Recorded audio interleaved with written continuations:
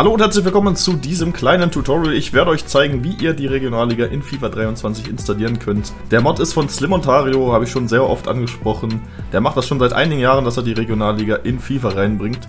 Bevor ihr euch das hier aber anguckt, muss ich euch sagen, das Ganze ist nur auf dem PC möglich. Das geht nirgendwo anders, nur auf dem PC. Er hat eigentlich auch schon ein Tutorial, wie das geht, auf seinem Kanal. Ist natürlich verlinkt, aber halt auf Englisch. Könnt ihr euch aber auch gerne angucken. Wie gesagt, es geht nur auf dem PC und es gibt eine Regionalliga, mit 22 Teams, wenn ich jetzt nicht komplett verloren bin. Also es gibt nicht mehrere Regionalligen wie in echt, es gibt nur eine und die Teams steigen dann auf. Sind so ein bisschen zusammengewürfelt. So, ihr geht erstmal bei seinem Video hier unten in die Videobeschreibung, geht auf Download. Den Mod Manager müsst ihr euch auch downloaden, das ist wichtig. Ich persönlich habe den jetzt schon. Hier könnt ihr den Editor und den Mod Manager runterladen. Ich glaube, hierfür braucht ihr aber nur den Mod Manager. Dann ladet ihr euch auf seiner Seite hier rüber die Mod runter. Dann startet ihr erstmal den Mod Manager, wählt hier den Dateipfad aus, wo ihr FIFA gespeichert habt, drückt auf Select. Ich glaube, bei euch müsste dann noch ein Fenster aufgehen, wo ihr den Encryption Key eingebt. Bei mir ist das jetzt allerdings nicht der Fall, weil ich das halt alles schon gemacht habe.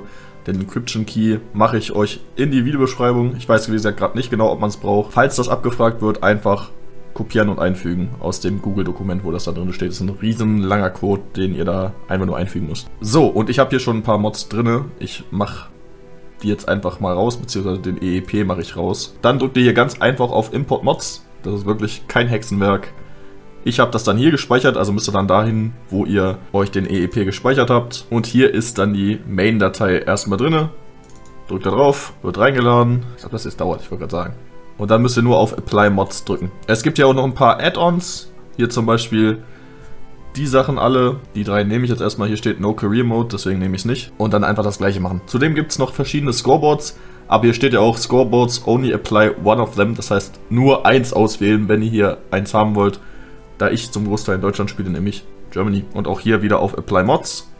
So, dann haben wir erstmal prinzipiell alle drinne. Das ist schon mal gut. Ich importiere noch einen anderen Mod, den ich für meinen Karrieremodus brauche. Passt gerade ganz gut. So, dann müsst ihr hier aber im EEP-Mod-Ordner noch etwas bedenken, denn hier gibt es den einen Ordner Importen Installation. Drückt ihr einfach mal drauf, geht hier in den Ordner rein, kopiert euch diese Dateien strgc oder meinetwegen auch hier kopieren, geht wieder zurück, geht dann auf das hier, Dynamic Log DB, werdet hier hingeleitet und dann einfach mal einfügen und ja, Dateien im Ziel ersetzen. So, das passt erstmal, das sorgt dafür, dass die Namen und so, dass das alles passt. Ganz bin ich ja auch nicht drin, aber macht's einfach, das ist wichtig.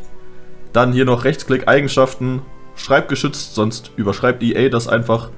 Übernehmen und okay. Dann hier nochmal zurückgehen und das Command Line Arguments auch nochmal kopieren oder so halt, ne? Und dann müsst ihr bei EA Play auf Verwalten drücken, Eigenschaften anzeigen bei mir steht es jetzt schon drin, ihr müsstet es noch einfügen und dann auf Speichern drücken. So, dann ist man eigentlich mit dem Gröbsten fertig, geht wieder zurück in Mod Manager und drückt einfach auf Launch und wartet, bis das Spiel startet. Sieht ganz geil aus, muss ich sagen, mit Bellingham und so. Und auch mit Original Napoli zum Beispiel. Oder Olympiakos Piraeus mit Chames.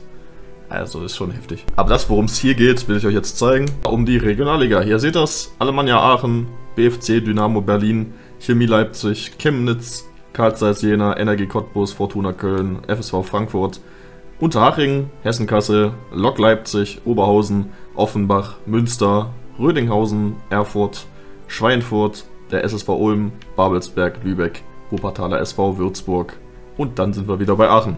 Ich zeige euch nochmal ganz kurz die Trikots, machen wir mal im Schnelldurchgang. Props auf jeden Fall an Slim, der das Ganze hier wieder mal möglich gemacht hat. Oh, Karl Zeiss Jena, äh, die haben jetzt andere Trikots, weil die in meiner Karriere andere Trikots bekommen haben. Sorry, meiner.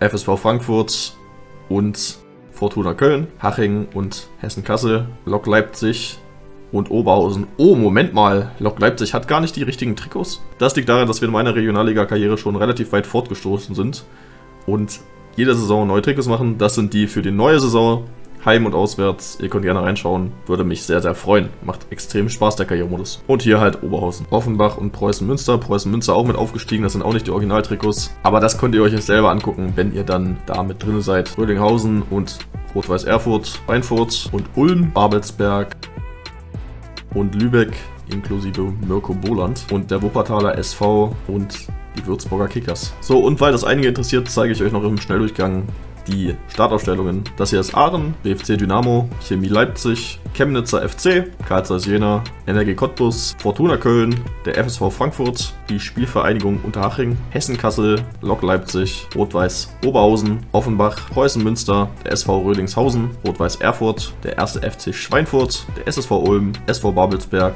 VfB Lübeck, Wuppertaler SV und die Würzburger Kickers. Und das war's. Ich wünsche euch auf jeden Fall viel Spaß mit der Mod. Ist eine extrem geile Mod. Wie gesagt, extrem cool, dass es die überhaupt gibt. Und ich wünsche euch noch einen schönen Resttag. Schaut gerne, wie gesagt, meine Lok Leipzig Karriere und haut rein.